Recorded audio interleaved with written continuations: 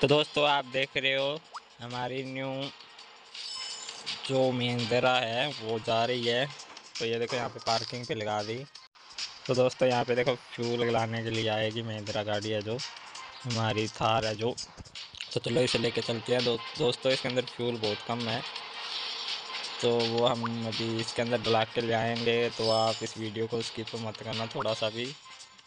तो यहाँ पे हिरन अभी गुजर रहा है सड़क से तो हम आराम से इसे जाने देते हैं एक बार, फिर चलेंगे।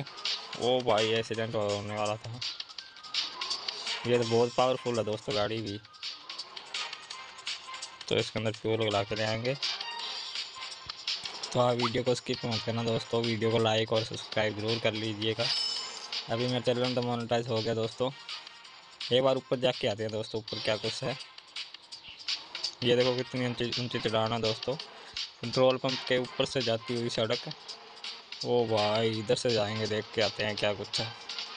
आगे कंपनी है दोस्तों, पता नहीं कौन सी कंपनी का नाम दे रखा है। तो अच्छा ये इस साइड उतरेगी, है ना? चलो हम उधर से चलते हैं फिर। गाड़ी को हम घुमाएँगे यहीं पे। भाई पेट्रोल बहुत कम रह गया।